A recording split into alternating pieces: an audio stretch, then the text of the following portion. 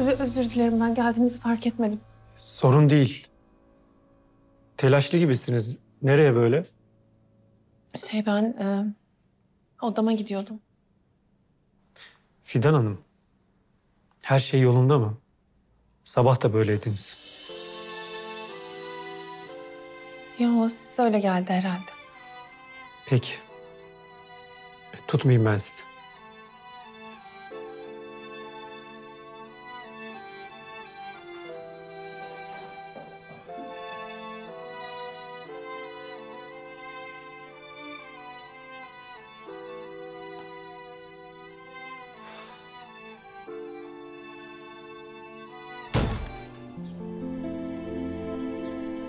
Sırma Keriman Hanım seni çağırıyor deyince ödüm koptu. Öğrendi herhalde dedim kim olduğumu ama bir şey demedi.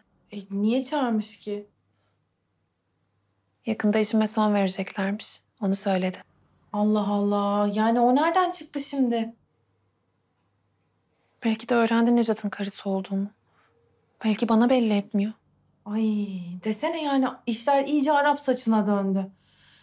Uf, neyse gülüm. Sen bir buraya gel de bir yüz yüze konuşalım bu konuyu tamam mı?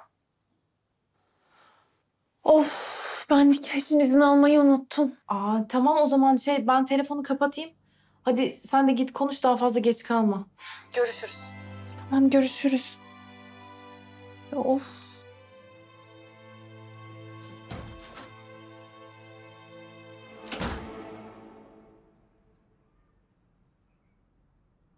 Sırma kolay gelsin. Teşekkür ederim. Keriman Hanım hala salonda mı? İzin isteyecektim de. Evet evet salonda. Tamam.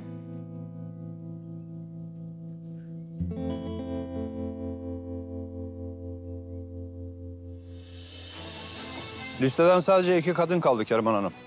Siz kadın evlenmiş, şehir dışına taşınmış deyince en yakında olanlar kaldı. Onları da birkaç saat içinde çözeceğiz. Bugün bu iş çözülecek merak etmeyin. İki kadının adresi de tamam mı? Tamamdır Kerman Hanım. Yani Necat'ın eski eşi her kimse bugün ona ulaşacağız. Nihayet. Toprak hatırlamadan biz onu bulacağız. Evet Kerman Hanım. Tamam. Seninle birlikte o iki adrese... Siz zahmet etmeseydiniz Hayır ben de geleceğim. İçimdeki şüpheyi ancak o kadını kendi gözümle görürsem giderebilirim. Peki, madem siz öyle söylüyorsunuz. Şayet düşündüğüm gibi ise o kadın için ne gerekiyorsa onu yapacağız.